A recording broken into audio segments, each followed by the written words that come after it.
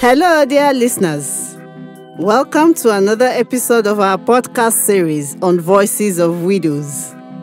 My name is Bolanle Olanrewaju, a widow and member of Advocacy for Widows Empowerment Foundation, an NGO based in Lagos State, Nigeria, where widows' welfare is paramount.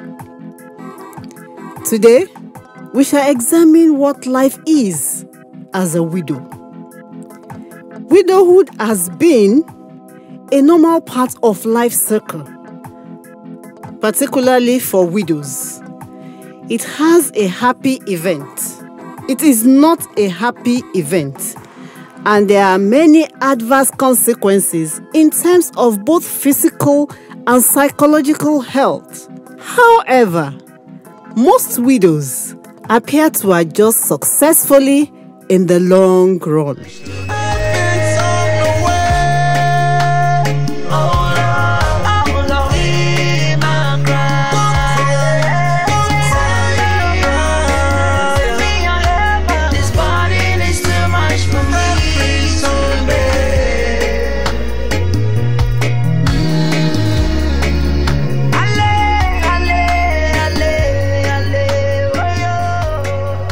There are many challenges we face as widows. Thus, coping with bereavement and widowhood is not to be underestimated. Let's take a listen to some widows' experiences. Good day. My name is Olushike Onofowokan. I, I became widowed on the 25th of July 2020. Well, um, I didn't have a good marital experience because it has it was issues from day one till date. My late husband was being manipulated by his siblings, his elder sister, who never wanted him to marry somebody like me because of my level of exposure and academic qualification. We the matters got worse and he abandoned myself and my daughter and left the house. All along, I knew he was sick. I kept on talking to him, but at some point, he stopped calling me, stopped picking my calls, and all that. And when it passed, that fateful day passed, that was the beginning of a turnaround.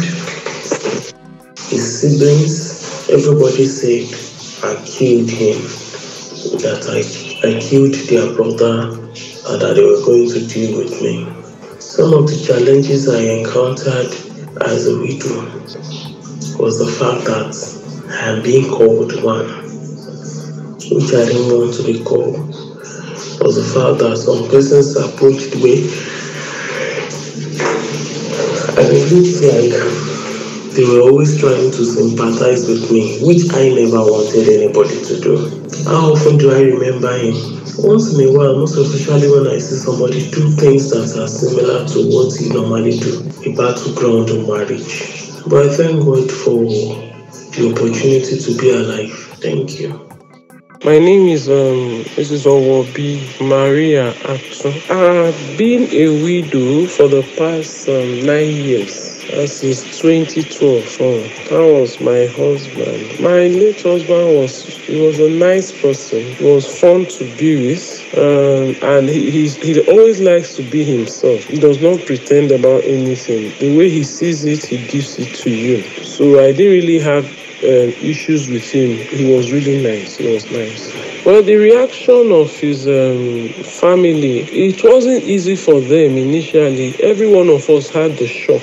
It, came suddenly. The news of his death came suddenly to all of us. So that shock affected them. It also affected me. And then initially there was this um, resentment and bias feeling. But eventually things worked out and um, the way they should and everything went normally. Hmm. How often do I remember my husband? I, as often as possible, every moment of the day. So long as I live, I still remember him, and there's no way I can forget, except otherwise. But till now, I still remember him. I still remember everything about him. And so long as I see my children, everything about them, the resemblance, they move around, they talk like him. So I, I always remember him. I always remember him. But I thank God, I believe it is well with him. Thank you. My name is Rosemary Elogene Emu, and I've been widowed for 11 years. I lost him January 13, 2010. He had renal failure and he battled for his life for two years, and finally, he gave up the ghost January.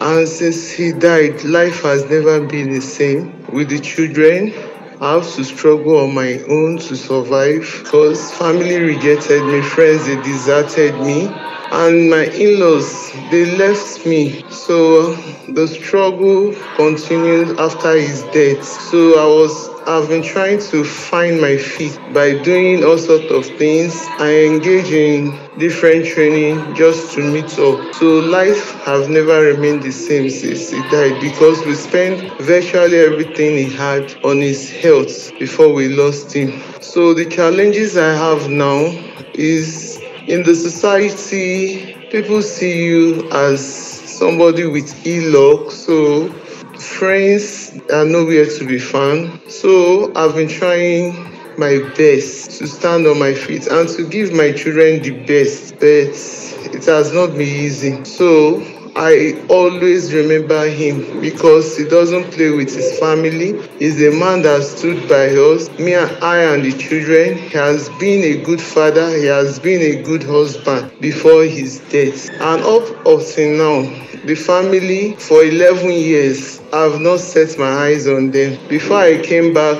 from my parents' place for the morning period, they've made away with all the things in the house, the furniture, all what he has. So that has how life has been as a widow. Thank you very much. My name is Amina Tomabolande Yusuf. I've been 11 years a widow, and the reactions of my in-laws was not really encouraging. It was a bad one. My husband, my late husband was a lovable somebody. He was a wonderful husband. And um, well, I have a lot of challenges, financial challenges, emotional challenges, medical challenges, challenges for my in-laws, my friends, the church, and so on. I remember my husband always. My name is Olayinka Olunose. I have been widowed for like two years and some months. Ah my late husband. Hey, oh, that man a good man. Oh. My late husband is a very good man. A man with a beautiful soul. A man with good characters. A man after God's own heart. One of the few of his kind.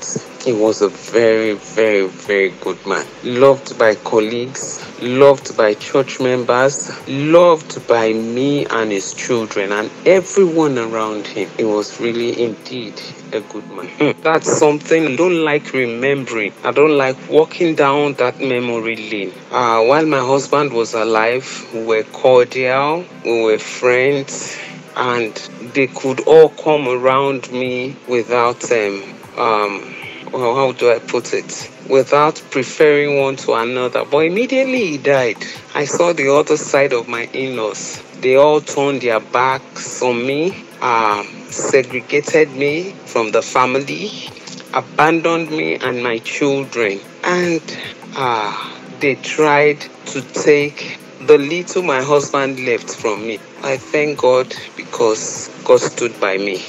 To be sincere and candid, there's no day that passes by that I don't remember him. There's no day, there's no day. These past two years, I've remembered him on daily basis. There will be something that will strike my, my mind back to when he was alive. It might be while doing the chores, it might be while in the bathroom, it might be while washing, because you know he was always there always helpful with the children with the chores and it spoiled me to distraction um, a lot of things that i didn't know how to do i had to learn them after his demise. So there's no day that goes by. He washes my clothes. I don't have problem. Before I wake up, he does all those things for me. Ah, selfless. It was selfless, and um, you know, there's no how you won't remember those things. I remember him every.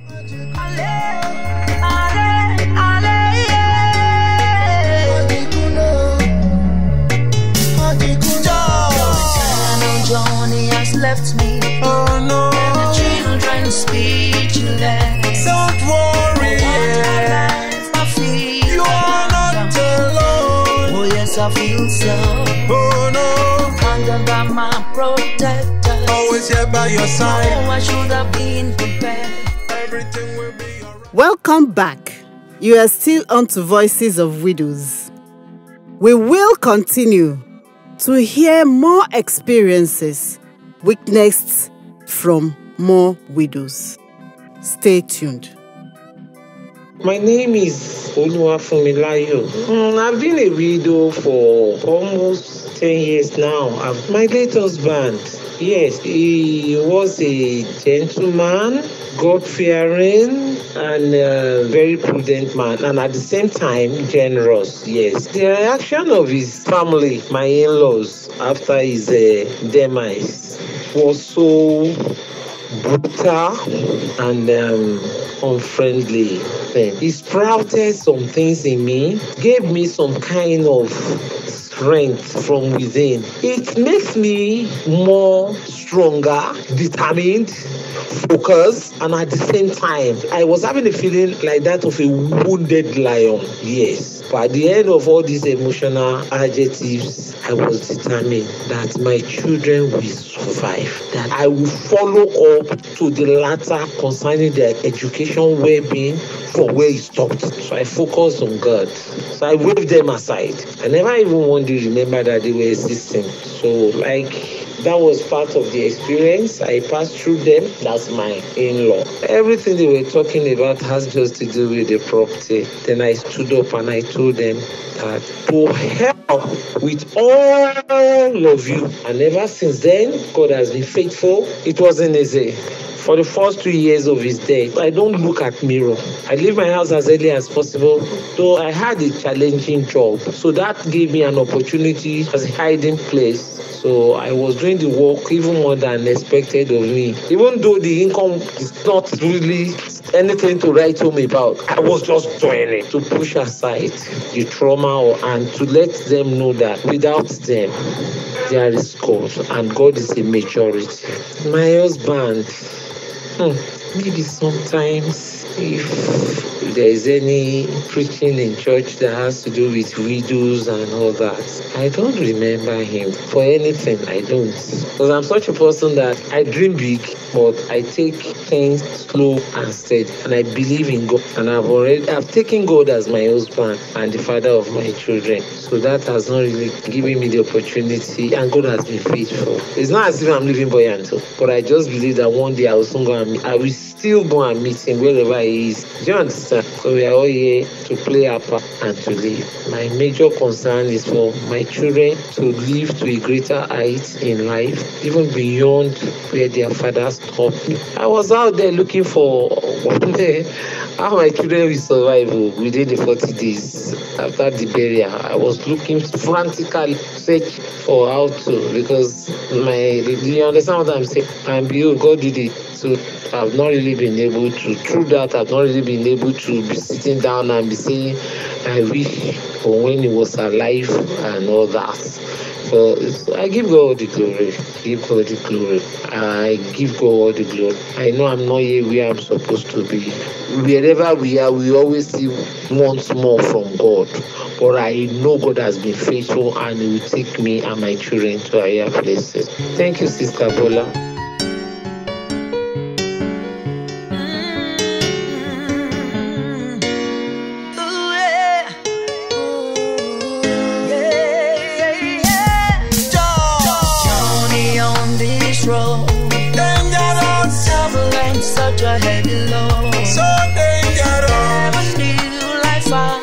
Widow. Oh yeah, Be a challenge. bigger challenge. Johnny, I'm feeling Life as a widow for Nigerian women is compounded by cultural demands of widowhood.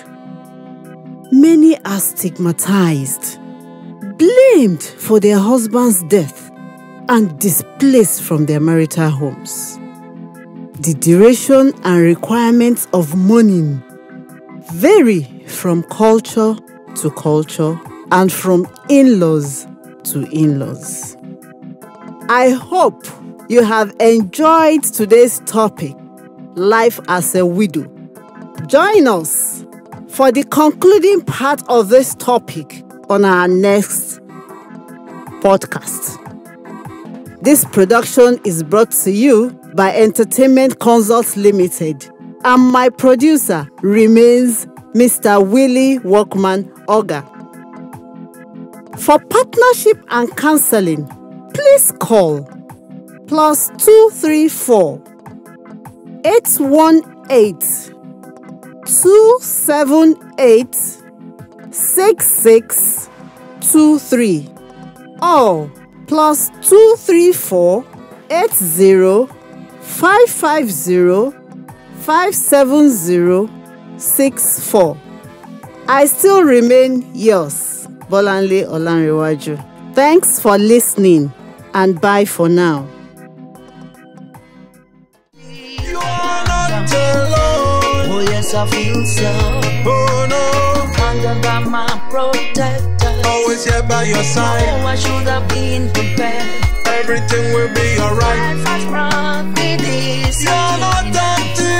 So much pain and